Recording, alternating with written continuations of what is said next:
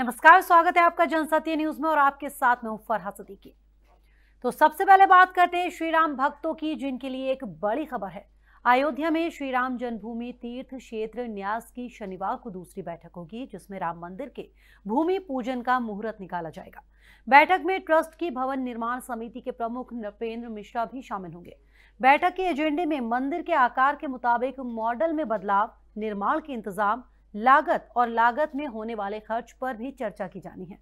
बताया जा रहा है कि हनुमान जयंती या फिर अक्षय तृतीया के मुहूर्त में से किसी एक पर विचार किया जा सकता है। इससे पहले भवन निर्माण समिति 28 और 29 फरवरी को नृपेंद्र मिश्रा की अध्यक्षता में बैठक कर रामलला मंदिर के भवन निर्माण के सभी बिंदुओं पर विचार करेगी।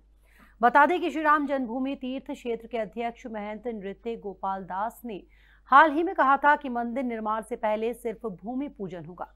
शिलान्यास का कार्यक्रम नहीं होगा। महंत के मुताबिक साल उन्नीस में शिलान्यास हो चुका है।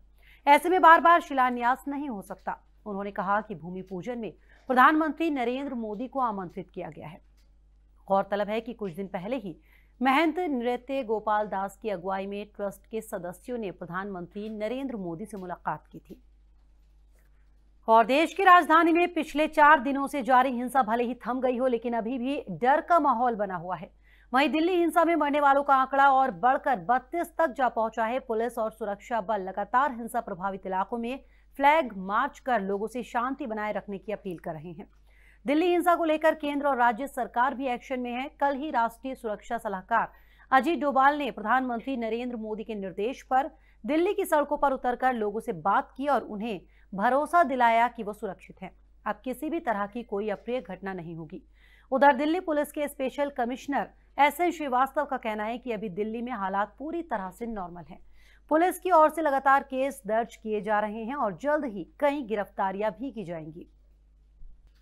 दिल्ली हिंसा मामले में कांग्रेस का एक प्रतिनिधि मंडल राष्ट्रपति रामनाथ कोविंद से मिलने पहुँचा। है इस प्रतिनिधि मंडल में सोनिया गांधी, प्रियंका गांधी वाड्रा, मनमोहन सिंह आनंद शर्मा, रणदीप सुरजेवाला समेत कई नेता शामिल रहे। इस दौरान राष्ट्रपति कोविंद को कांग्रेस की तरफ़ से मेमोरेंडम दिया गया, जिसमें हिंसा के आरोपियों के खिलाफ कार्रवाई की मांग के साथ ही पीड़ितों को मदद मुहैया कराने की भी मांग की गई। इससे पहले कांग्रेस ने दिल्ली हाई कोर्ट के जस्टिस एस मुरलीधर के अचानक तबादले पर भी सवाल उठाए। प्रियंका गांधी ने आरोप लगाते हुए कहा कि आधी रात में जस्टिस मुरलीधर के तबादले से हैरानी हुई। सरकार न्याय का मुँह बंद करना चाहती है। और वहीं समाजवादी पार्टी के सांसद आज़म खान, उनकी पत्नी तंजीन फातिमा और बेटे अब्दुल्ला आज़म खान को कल कोर्ट में पेश कर उन्हें रामपुर जेल भेजा गया था। बताया जा रहा है कि खान परिवार को सीतापुर जेल में शिफ्ट किया गया। दरअसल रामपुर के एसपी ने अदालत से अपील करते हुए कहा था कि आज़म और उनके परिवार को रामपुर जेल में रखने से कानून व्यवस्था बिगड़ सकती है। आपको बता दें कि उत्तर प्रदेश सरकार ने पिछले साल कई मामलों में आज़म खान और उनके परिवार के खिलाफ केस दर्ज कराए थे। इनमें ज़्यादातर मामले भूमि अधिग्रहण, चोरी और रिश्वतखोरी से जुड़े हैं। कई बार सम्मन भेजे जाने के बावजूद आज़म खान कोर्ट में पेश नहीं हो रहे थे, जिसके बाद अदालत ने उनकी संपत्ति कुर्क करने के आदेश दिए। कोर्ट ने पुलिस को 17 मार्च से पहले आज़म खान को पेश करने का आदेश दिया था। बुधवार को एसपी सांसद, उनकी पत्नी और बेटे को अदालत में पेश करने के बाद 2 मार्च तक के लिए जेल भेज दिया गया। अब 2 मार्च को ही इस मामले पर अगली सुनवाई होगी। और एयर इंडिया ने भारतीयों को एक बार फिर से दिल जीत लिया है। सरकारी एयरलाइंस ने जापान में डायमंड प्रिंसेस क्रूज जहाज़ पर फंसे 119 भारतीय और पाँच विदेशी नागरिकों को सुरक्षित निकाल लिया है। गुरुवार को एयर इंडिया सभी नागरिकों को लेकर दिल्ली एयरपोर्ट पर उतरा, जिसकी जानकारी विदेश मंत्री एस जयशंकर ने दी। इससे ठीक पहले भारतीय सेना का विमान सी सेवनटीन ग्लोब मास्टर चीन से लगभग 112 भारतीयों और 36 विदेशी नागरिकों को लेकर सुबह छह बजकर तीस मिनट पर दिल्ली एयरपोर्ट पर लैंड कर गया।